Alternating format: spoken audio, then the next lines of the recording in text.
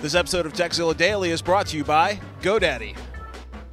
Patrick Norton here, Tekzilla Daily from CTIA 2010. That's the wireless show here in Las Vegas, Nevada. We've been talking a lot about cell phones. Let's take a look at a cell phone accessory. This is Wilson Electronics Sleek. It's a universal cell phone signal booster. It's a really simple concept. Unlike the big expensive Wilson amplifiers, this one, there's a little tiny cradle that goes up by your dashboard. You drop your cell phone into it and it amplifies your signal. The whole idea of Wilson Electronics, several other companies do, is allow you to improve your signal in places where the signal ain't so hot.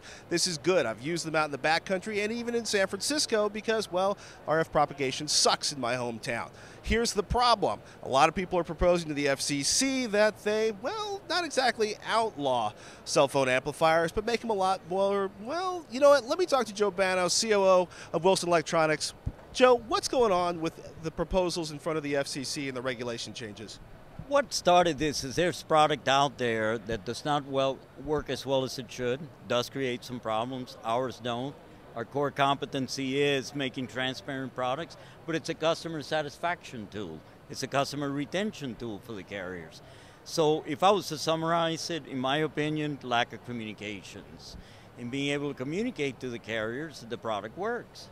And there are a lot of people out there that need it. So it's getting there.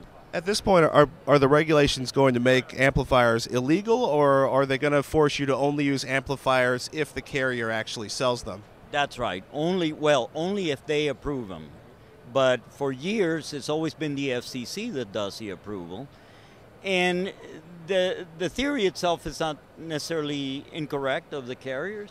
It's just that they won't have any dialogue with us. So, how can we ever get an amplifier that will be approved if we can't even talk to them?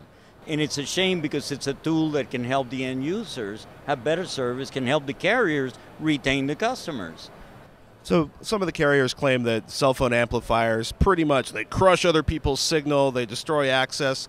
I mean, uh, are, if I use an amplifier, am I really going to ruin access for other customers on that network? No, not a Wilson amplifier. We know how to do it. We can explain to them how to do it and how we do it, but no, you won't. Now, obviously, you're biased towards Wilson Electronics, but are, are, are, there are there some are there in some cases where uh, cell phone amplifiers are creating problems across the board?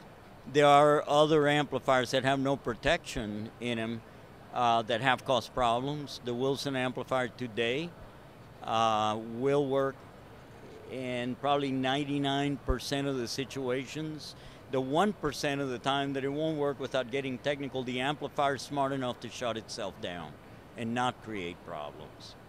So that's the key to the whole thing. We know when to shut it, it knows when to shut itself off. I need to make sure I've got a new enough amplifier that it knows to shut itself off. Ladies and gentlemen, Wilson Electronics, CTIA, show floor 2010. If you're looking for more mobile and wireless coverage, do us a favor, go to Tekzilla at revision3.com.